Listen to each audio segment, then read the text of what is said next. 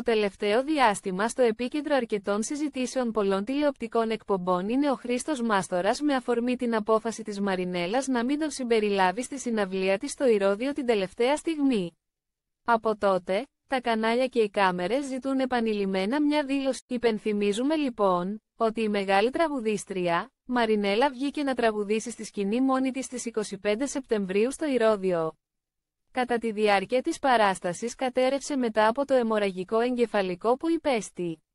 Από τότε νοσηλεύεται στο ιδιωτικό νοσοκομείο υγεία και λαμβάνει την απαραίτητη θεραπεία. Χθες, Δευτέρα 30 Αυγούστου το πρωί λοιπόν, οι κάμερες συνάντησαν το Χρήστο Μάστορα στο αεροδρόμιο Ελευθέριος Βενιζέλος θέλοντας να αποσπάσουν μια δήλωση του για τη σπουδαία ερμηνεύτρια.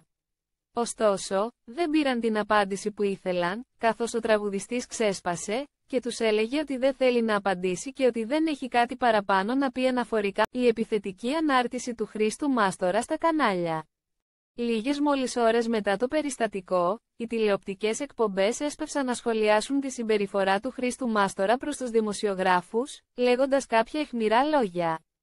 Έτσι λοιπόν, ο τραγουδιστής θέλησε να απαντήσει μέσα από τον προσωπικό του λογαριασμό στο Instagram με μια ανάρτηση, που έγραφε τα «Η καιρή είναι παράξενη φίλη μου, όλοι μάχονται για την προσοχή σου».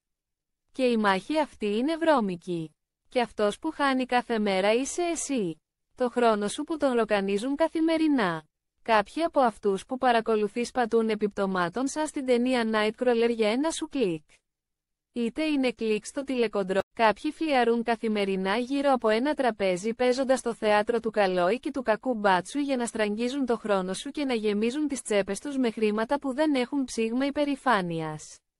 Προσφέροντας τι, συντροφιά, ειδήσεις, ήθος, τίποτα από το μόνο που προσφέρουν είναι αποχάβνωση. Η προσοχή σου είναι το νέο νόμισμα λοιπόν.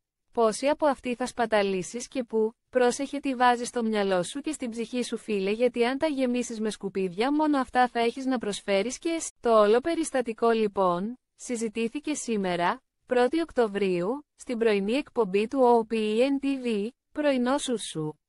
Συγκεκριμένα, η Ελένη Τσολάκη, είπε, ο Χρήστος Μάστορας βρέθηκε στο επίκεντρο του σχολιασμού εξαιτίας της μη συμμετοχής του στη συναυλία της Μαρινέλας στο Ηρώδιο, από εκεί και πέρα συζητάμε καθημερινά γιατί έφυγε, έχει ανοίξει ο ασκός του αιώλου πολύ νωρίτερα με το Χρήστο Μάστορα.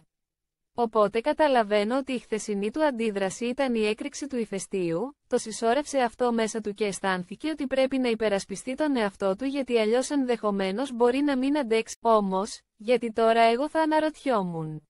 Καταλαβαίνω ότι πολλά μπορεί να τον έχουν ενοχλήσει. Αλλά χρειάζεται μια ψυχραιμία με πιο ήρεμη ματιά, γιατί αυτή τη στιγμή το θέμα είναι άλλο, έχει φύγει λίγο όλο αυτό.